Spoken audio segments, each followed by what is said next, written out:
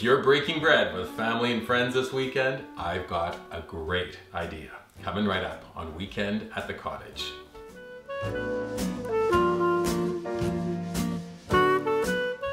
Welcome to Weekend at the Cottage. I'm Nik Manojlovich. Today I'm going to share a recipe for panzanella, a traditional Italian bread salad that is perfect whenever you're entertaining large crowds, this salad really goes the distance. Before I start into the recipe, a reminder to please visit weekendatthecottage.com. When you're there, subscribe to our website, please. Also look for us on our dedicated YouTube channel, subscribing to it as well. And then finally, why not look for us on one or more of your favorite social media platforms using hashtag weekend at the cottage on Pinterest, Instagram, Facebook, and Twitter. It is such a fantastic recipe, especially if you have a big crowd coming. We're doing panzanella, a traditional Italian bread salad. Principal ingredient is bread and I'm using an entire loaf of sourdough. This sourdough is day old. I got it at the bakery in the day old section, which is what I'm going to suggest. Uh, it's gonna hold its texture when you go to mix it together with the other ingredients. I'm slicing the bread and then transferring it onto a baking sheet. I'm taking my rock and crushing three cloves of garlic. I am pulverizing them. Place them into a small bowl.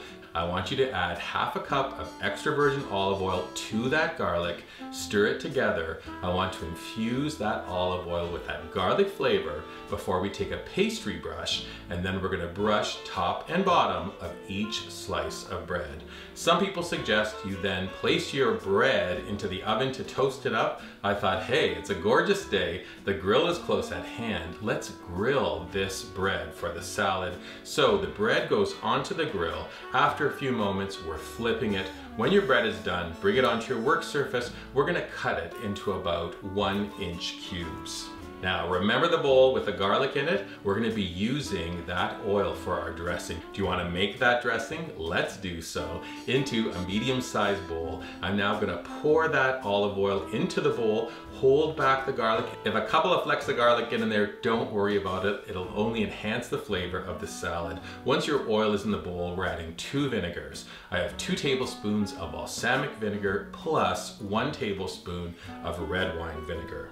If you're a frequent viewer to Weekend at the Cottage, you know I love mustard. I'm doing just half a teaspoon of Dijon mustard. Those ingredients are in a bowl. We whisk them together and that very simple dressing is ready to go. We set it to the side. Now we're gonna prep the rest of the vegetables for the salad. We're gonna begin with heirloom tomatoes. I have three different colored. I'm gonna take out the caps and then we're going to cut them into pretty sizable chunks, probably an inch by inch, same size as those pieces of bread. Place your chopped tomatoes into a bowl and now I'd like you to salt them. So a sprinkle of kosher salt, stir it together, a little bit more kosher salt. This is gonna release the flavors of the tomato before they head into the bowl for mixing. Next, we're gonna take 24 leaves of fresh basil, a little chiffonade, so we're gonna do them into very fine slices, a quarter cup of fresh parsley, finely chopped. I also have six cute as a button cucumbers, cut off the ends, split down the middle, and then chop them into big bite-sized pieces. I have half an orange pepper, half a yellow pepper, same thing into big chunks, half of a red onion thinly sliced, and then I cut it even into smaller sections, perfect. Now it's time to assemble the panzanella. We have a large bowl. Transfer our cubes of bread. They are fragrant and still slightly crunchy. We're gonna add the chopped cucumbers, add the two different colored peppers. Next we add the red onions. Now take your salad servers, give the salad a very quick toss. We're then going to add the basil. Toss on the parsley. Here comes those glorious tomatoes. Give your dressing a quick whisk, pour all of it on top of the salad, Back with our salad servers, a nice gentle toss and you're immediately gonna see the gorgeous color combination. This salad is so appetizing.